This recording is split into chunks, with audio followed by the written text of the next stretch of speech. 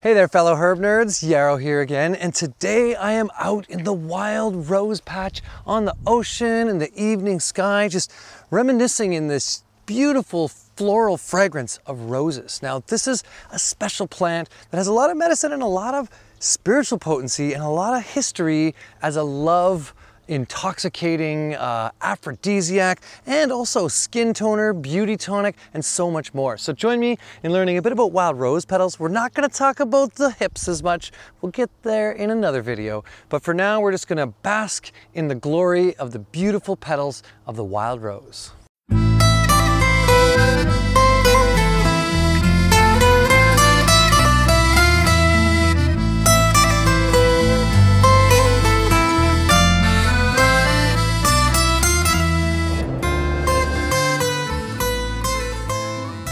When it comes to rose, this is a plant you probably don't need help identifying. It's easy to identify. Wild roses have these five petals. One thing I love about them is that the petals are a heart shape. And that really is just indicative of their heart medicine, right? This is the international symbol for love. And it's been cultivated into so many different varieties. You've got double veiled roses, you've got different colors, you've got ones with a lot of smell, a lot of fragrance, long stemmed roses, thornless roses, you name it. There are so many types. Now, if you're gonna use rose for medicine, be careful with anything that comes from a florist because first off, often those are sprayed and often they're not very medicinal. So really wild rose is the medicine of choice. And it's also the one that is in the most abundance. Now, I come from Alberta, which is considered wild rose country. And actually, the school, Wild Rose College of Natural Medicine, my father's herbal school, is kind of where I grew up. So I really have an affinity for connecting with this plant. It's been a symbol of our family for a long time. And really, when I kind of looked back and just thought about that, it's this love for plant medicine that roses really cultivate. They bring this connection with self, you know, the flower essence of this medicine is really for helping you work through apathy and work through disconnection. Often roses are given to people both in love, but also when someone breaks up with you or when your partnership splits apart.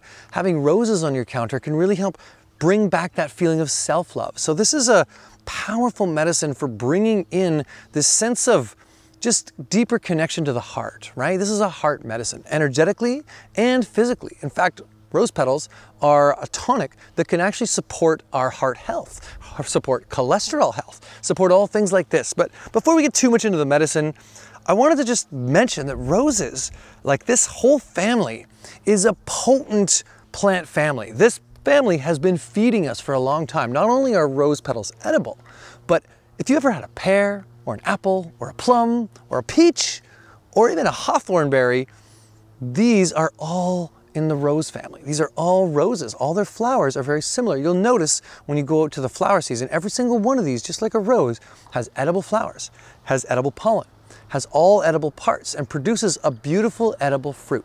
Now I mentioned we're not gonna talk about rose hips, but really that is a big part of the medicine too. And we'll do another video on that because I think it's one of the most potent immune uh, medicines around that has all those flavonoids and all those rich minerals. But whoa, whoa, whoa, we're not gonna talk about that.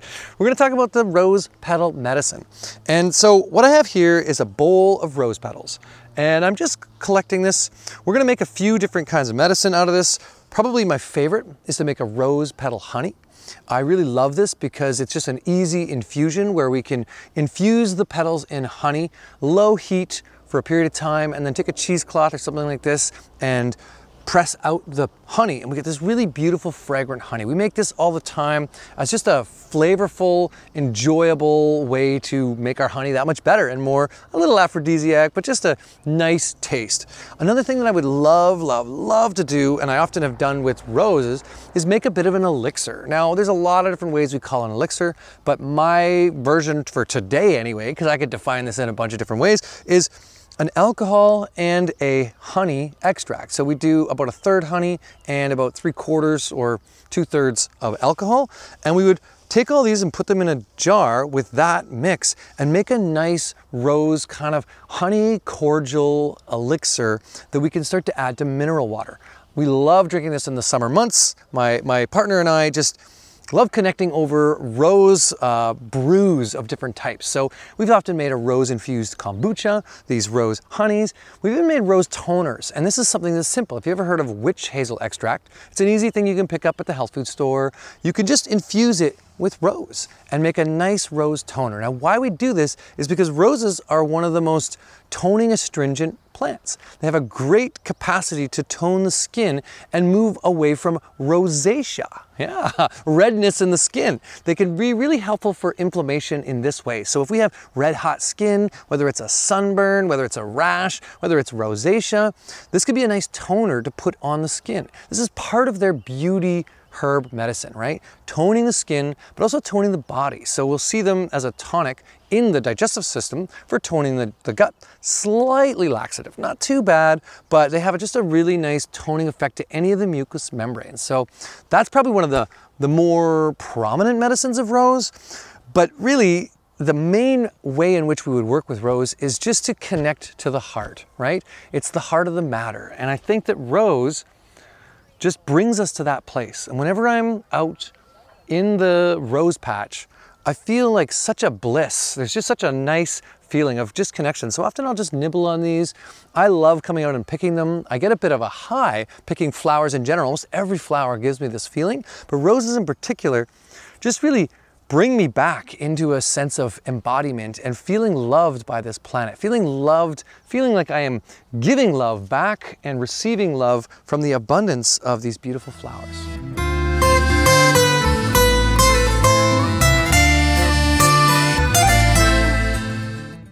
Something that I'm always curious about with plants are the interesting pieces, the, especially the sexual reproductive parts of plants. Ooh, that's all where the kinky chemistry is. And in roses, as they're kind of notorious for love and connecting that kind of medicine, these, these stamen and the pollen of rose has just a really interesting feel and a nice flavor. So often this is something I would invite you to do whenever you're crafting medicine, whenever you're connecting with plants is get curious. Let your childlike mind come in and explore the various parts. And a plant like this is totally edible. And so let's just play with it. I really like these stamen. And as I pick the flowers, I notice that there's a puff of pollen that comes up. So can I capture that puff of pollen and just help me connect deeper with that medicine?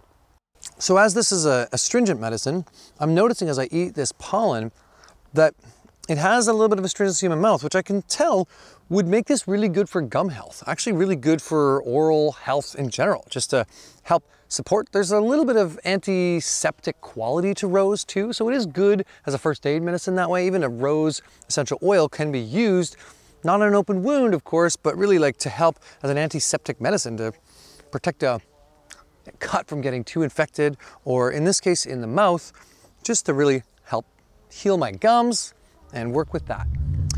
So there's an old saying, and that is that a rose by any other name would still be thorny. well, maybe that's not how the saying goes, but, but really these thorny plants, there's medicine to them. Almost every plant that produces thorns produces a great fruit or a nice abundance of food or medicine. So I really am attracted to thorny plants. Often I wear my armor when I get out into picking these plants, but they're often my favorite. Like I love blackberry, love devil's club, hawthorn, rose, anything that has thorns to prick you has something to protect, right? So teasels and thistles and all of these plants are often some of our best foods and medicines. So rose hips are one of the best foods. Rose petals are one of the nicest fragrances and medicines. And just a really good way to know you've got a good plant is if it's thorny and not easy to capture its essence. Oh, that never gets old. That intoxication, that smell. Oh, that heart connection that rose brings. And this is something that I just want to kind of bring in here for a moment is a lot of us have a bit of a broken heart in this life. Life is hard. Things are not easy. We've been, you know, in this modern day, kind of isolated and disconnected from our planet, from each other, from feelings of love. Many people end in, their relationships end in divorce, a lot of sorrow and sadness. And sometimes even like days like Valentine's are not happy days for people because of this connection uh, to this sorrow.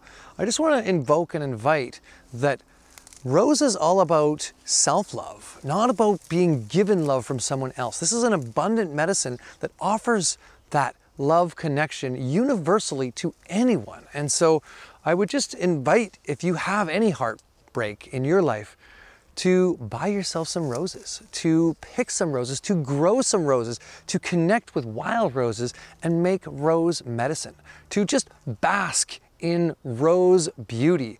And remember that you are beautiful. That's what roses show.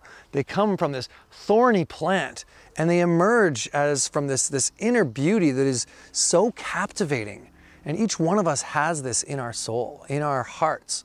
As our hearts ripple with this energy. We are electromagnetic beings, and our electromagnetic heart is a major oscillator in our body that amplifies this type of energy. And Rose can help kickstart that or uh, grow start that, whatever that is, into a place of bringing that further into the world.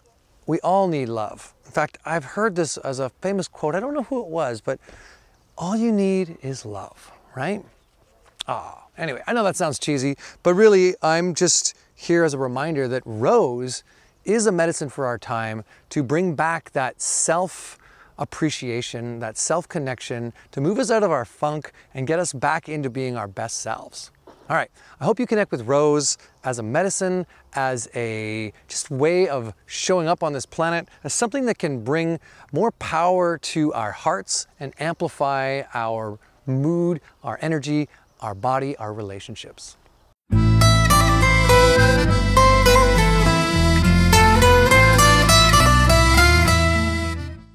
There are lots of things you can do with roses, and I would recommend you take some time to look up some of the medicines you can make with them, but I'll give you a few ideas right now. And actually at Wild Rose College, we are crafting up a herbal pharmacy class right now, and some of the recipes will be using rose. But really the first one is that rose toner. Very simple, make a rose toner spray. And what I would recommend is you take a jar like this, put witch hazel in it, fill it, pack it full of roses, let it sit for two weeks, and then uh, strain it off, put it into a nice aromatizer and spray it like a toner. Great for the skin, great for just freshening us up. Just a nice way to work with rose. You can also do something similar with an essential oil just in water and make a mist that way or a hydrosol. A couple other things I like to make with rose is to actually make a rose oil, not a essential oil, but a rose infused oil with jojoba oil or grapeseed oil. This is something we would do with a double boiler. We can also do this with honey. So we can make a honey this way or an oil this way, where we pack the jar full of roses, put in our menstruum, which in this case would be oil, and we double boil it where we put a mason jar lid on the bottom so it's not touching the, the burner inside of a bath of water in a pot and slowly at a light heat kind of warm that up so that the essential oils pull out of the roses into the honey or into the oil. So making a double boiled oil extraction, honey extraction, great way to work with this. Another thing that I mentioned already was making a elixir or a cordial. There's plenty of recipes for that. Rose is great as a shrub where we might take the rose petals, mash them up with sugar, leave them overnight, and then add them to like a drinking vinegar. Crafting something like that is amazing with rose. I've even used them as a second ferment on my kombuchas. So there's lots of things like that we can do. But when it comes to picking them and making tea, we can either dry them fresh just like this, the full petals. We want to dry this in, in shade, or we can crush them up slightly and just kind of volatilize those oils a little bit, break open the juices, and then dry them that way. And this is actually a nice tasting tea when we do that.